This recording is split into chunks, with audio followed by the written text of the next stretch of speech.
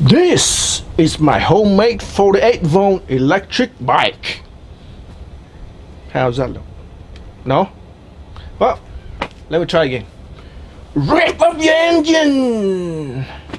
Never mind. How about this? Today I'm going to talk about something new. Batteries. Specifically, the Kobalt 24 volt battery for electric bikes. These batteries are the same batteries I use for my Kobalt tools like drill, impact drivers. These are 10 amp hour each, 24 volt, and I made them in 2017. That was about six years ago.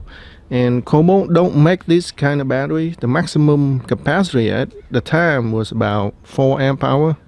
And at the time I made it, it was six years ago, it was the world's biggest power tool batteries. It's been six years and I've gone through about 2,000 miles with these batteries. They do have some degradation and the range is not as good as it once was. It's time for me to upgrade with a new battery. And before I do the upgrade, I wanted to make a video to share with you what it's like to run an electric bike with power tool batteries. What are the advantages and the disadvantages, the pros and cons, if you will, of using power tool batteries for an electric bike? Let's talk about the advantages of these batteries. The first advantage is that it's easy to make.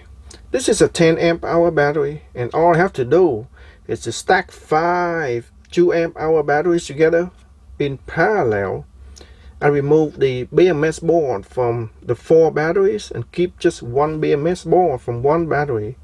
And then just solder them all together in parallel and voila I have an e-bike battery ready to go. There's no need to buy and install a separate BMS board because it's already inside here. There's no need to buy a separate charger either because I can just use the original Kobalt charger to charge the battery but the amount of money I save is negated by the cost of buying all of these batteries because they are a lot more expensive than other types of batteries. And that's the disadvantage of these batteries. They are very expensive. However, sometimes retailers who sell these batteries have them on sale and if you can get a good deal when they are on sale then you can really take advantage of these batteries to use them for your e-bike. The second advantage of using a power tool battery for an e-bike is because they are power tool batteries. I can still use them for my other tools when I'm not riding my bike. This battery is a bit too heavy for handheld tools like an impact driver or a drill. But for a heavy duty tool like a miter saw, tools that you don't have to hold on your hand, this battery is perfect. I use this 10 amp hour battery with my miter saw when I need to cut big pieces of lumber. I used to have a 4 amp hour on this saw and the battery tends to heat up a lot under high load. But with the 10 amp hour battery on the miter saw, it cuts faster and the battery stays cool even under high load. And it lasts a lot longer. And for other tools which you don't have to hold on your hand, like a fan here, this battery will last a very long time.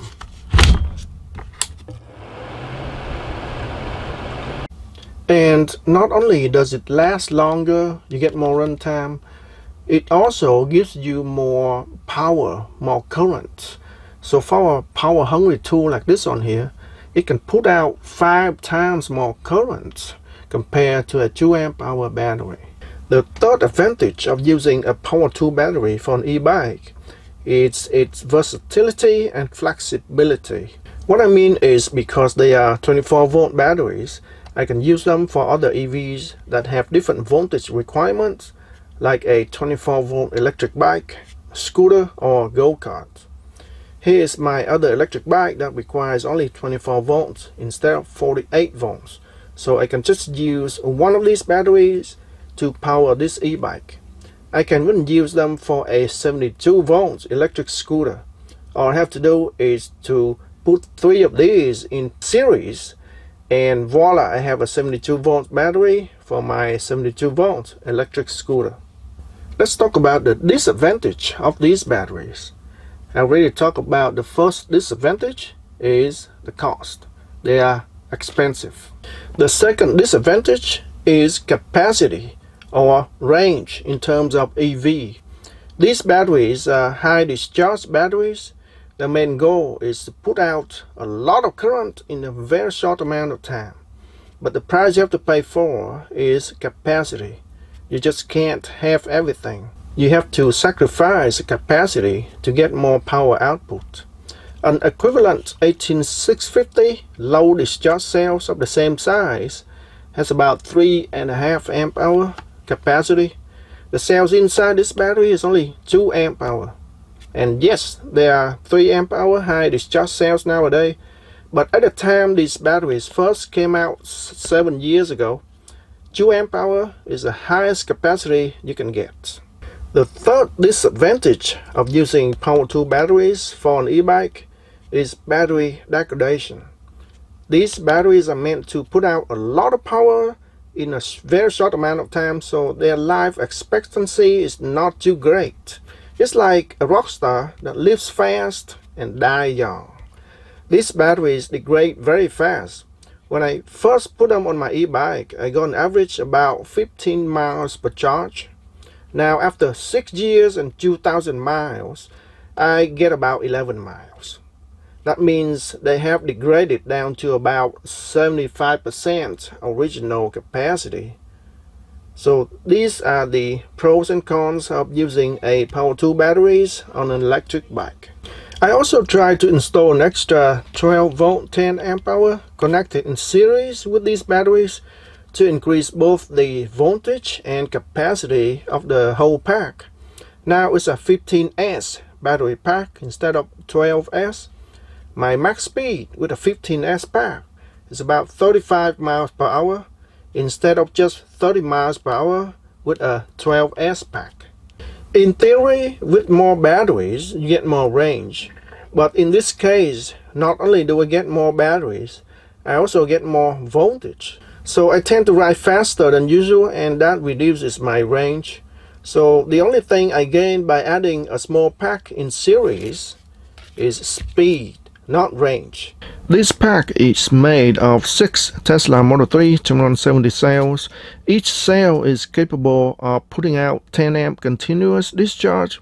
You got two in parallel, so 20 amp continuous discharge, which is a lot lower than this, which put out about 100 amp continuous discharge.